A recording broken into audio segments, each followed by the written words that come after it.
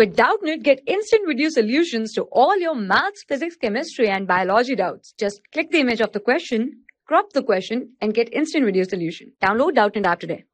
We have the question that the range of a random variable x is 0, 1 and 2.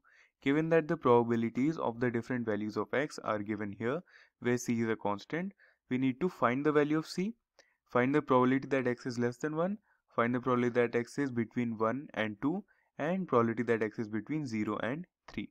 We know from the laws of probabilities that the sum of all the different values of the probability of the random variable x should be 1. So the probability of x is equal to 0 plus the probability of x is equal to 1 plus the probability of x is equal to 2 all the values of all the possible values of the random variable x the probabilities of all of those should add up to 1 therefore this implies that 3c cubed that is the probability of x equal to 0 plus this is equal to 4c minus 10c squared and plus 5c minus 1 this has to be equal to 1 this implies that 3c cubed minus 10c squared and then plus 9c and then minus 2 is equal to 0. So this is a cubic equation in C and we need to find the three values, the three possible values of the uh, variable C, right? The three roots of C. So just by looking we can see that C is equal to 0 is not satisfying this. So let us try C equal to 1. If C is equal to 1 then then, then we'll have uh, then we'll have this simply 3 minus 10 plus 9 minus 2 which indeed happens to be equal to 0 right uh, 10 minus uh, 3 minus 7 is minus 7 then plus 9 is plus 2 and minus 2 is 0 so this is a root so if this is a root that that means that c minus 1 is a factor is one of the factors of of the three factors that we can have for this cubic equation right so let us try to find the other two factors by finding the uh, finding the quadratic equation that we get when dividing this by the given cubic equation or in fact dividing the cubic equation by this factor. So that is what we'll do by long division. We have this factor and we'll divide the cubic equation that is 3c cubed minus 10c squared plus 9c minus 2. Right, so let us try 3c squared. So 3c squared multiplying will give us 3c cubed and then minus 3c squared then we'll have to subtract this so we'll have 0 and then uh, this becomes a plus so that is minus 7c squared right and we'll bring down this 9c now we'll have minus 7 into c so this will give us minus 7c squared and then plus 7c right we have a minus minus plus this is plus minus and then we'll have simply 2c and this 2 can come down now so 2c minus 2 and then we'll have to add 2 right so this will give us 2c minus 2 and the remainder would be 0. So this is the other part of the uh, factor. So this into this will give us the cubic equation. So therefore we have we can also write instead of that instead of writing that cubic equation we can write c minus 1 into this quadratic equation which simply gives the cubic equation. This is equal to 0 right? So let us find the two roots of this quadratic equation so that we'll find the other two roots of the cubic equation right? So let us do this.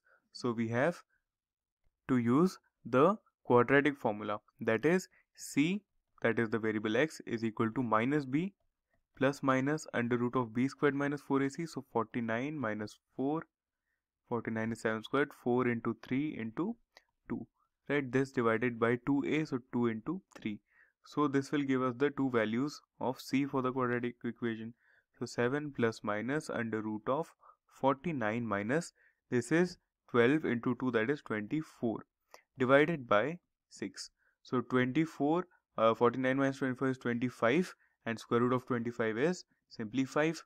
So we have 7 plus minus 5 by 6 which is 12 by 6 that is 2 or 2 by 6 that is 1 by 3. So this is uh, these are the two values of C. Therefore, we finally have, so this will be C minus 2 and C minus 1 by 3, right? We can write this. Now we finally have the three values of C as 1, the first root, 2 or 1 by 3. These are the three possible values of C, right? So not all of these actually satisfy the uh, probabilities because if C is equal to uh, this this second term actually produces the problems. If c is equal to 1, then this probability will be negative. So we cannot have 1. If c is equal to 2, then this would be 8 minus 10 into 2 squared. So 8 minus 40. Right, so 8 minus 40 is again the uh, negative. So we cannot have negative probabilities. So c cannot be equal to 2, uh, 2, c cannot be equal to 1. Therefore, the only value left for c is 1 by 3. Right, the, the, the, the last root left. Therefore, we reject c equals to 1 and c is equal to 2 as they give negative probability of x is equal to 1 right x is equal to 1 was what we were evaluating so negative values of x is equal to 1 we cannot have that is why we reject these two values of c and hence the final answer for c is c is equal to 1 by 3 this is the solution for the first part of the question. In the second part, we need to find the probability that x is less than 1, right? So, in the second part, we have the probability of x less than 1. Probability of x less than 1 is simply probability of x is equal to 0, right? x cannot have negative values because x belongs from uh, 0, 1 and 3. So, x is equal to 0 probability we can easily calculate as 3c cubed right? 3c cubed that is what was given to us. 3c cubed is probability of x equal to 0 so now we just have to put the value of c as 1 by 3 the accepted value of c. So 3 into 1 by 3 cubed. So that is simply 1 by 9 probability of x less than 1 is equal to 1 by 9 now let us move on to the third part. In the third part we needed to evaluate the probability of x is equal to 2 right? Since we had probability that x should lie uh, uh, in the third part sorry probability that x should lie between 1 and less than equal to 2 so it has to be greater than 1 or less than and equal to 2 so it could be 2 it cannot be greater than 2 so probability of x equal to 2 is the only uh, option left so probability of x is equal to 2 is nothing but 5c minus 1 as we have been given in the question so this is 5 divided by 3 minus 1 so that is equal to 2 by 3. This is the probability that x is equal to 2 or you can say x lies between 1 and less than equal to 2 as is the given as is given in the question. Now finally the probability that x lies between 0 and 3 right 0 and less than equal to 3 that is the third part. So this is equal to the probability that x is equal to 1 because it has to be greater than 0 plus the probability that x is equal to 2 and plus the probability that x is equal to 3 right so probability that x is equal to 3 is actually 0 because x can never take the value 3. Right, so we only have this. This is equal to probability that x is equal to 1 plus the probability that x is equal to 2.